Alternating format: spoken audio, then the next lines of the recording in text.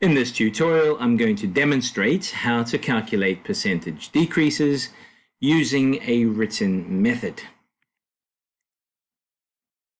Now, while there are several really good written methods, um, that's great. I'm going to use a written method whereby we convert or rename these percentages here as decimals.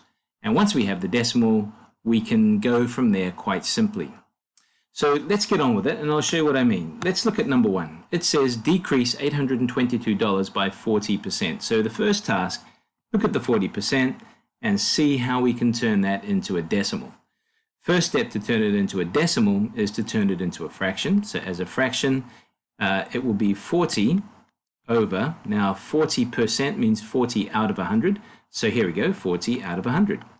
And to turn this into a decimal, all I have to do is do what this actually says, which is 40 divided by, that's what the fraction bar means, 40 divided by 100.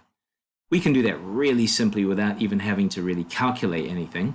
This 40, you can imagine it as a whole number, so the decimal point will be here.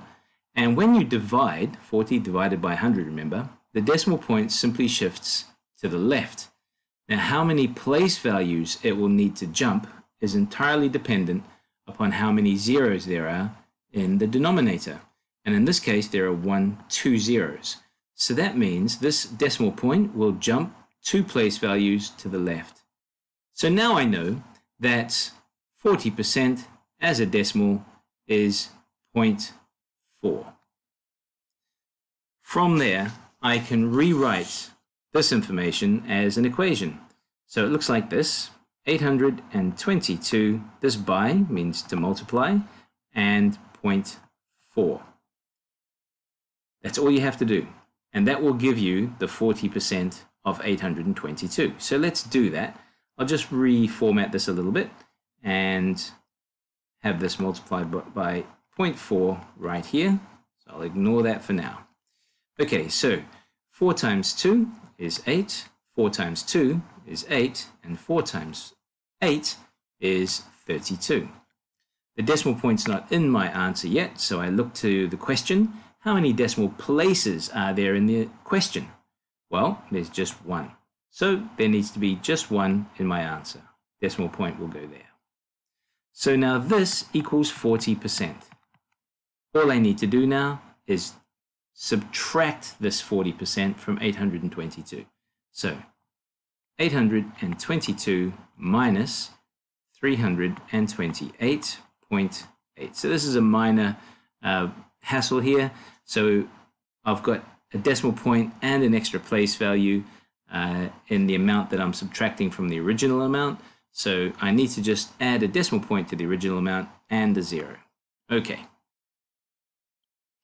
So 0 minus 8, I can't do that, so I have to borrow. That turns into 1, that turns into a 10 this becomes 2. I'm, to the, I'm up to the decimal point, so put it in.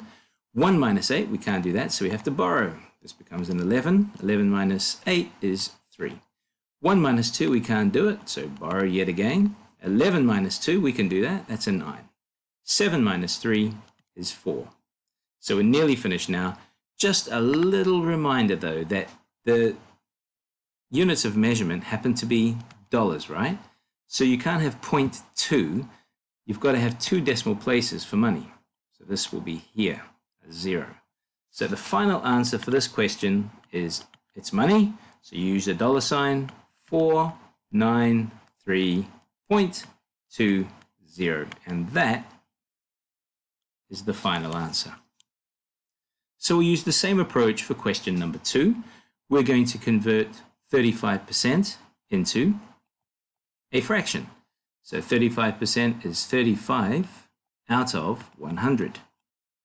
Okay, decimal point is here. We're going to divide 35 by 100, so that means the decimal point is going to go towards the left, and it will jump how many place values? 1, 2, 1, 2. Okay, so I now know that 35% is 0.35. So all I'm doing now is 2 multiplied by 0.35. 5. So I'll rewrite that down here so I can solve it. So 0.35 multiplied by 2. Let's solve that. So 2 times 5 is 10. Uh, 2 times 3 is 6, plus that 1 we just carried is 7. Where does the decimal point go? Well, there's one, two decimal places in the question, which means we must have one, two decimal places in the answer. So the decimal point has to go here. So 0.7 equals 35%. So now I just have to take the 2 and subtract 0.7 from it. Again, uh, this 2 has no decimal point, so I'm going to put it in and put a 0 here to hold the tenths place, and now this is a problem we can solve. 0 minus 7 we can't do, so we have to borrow from the units column, and that becomes a 10.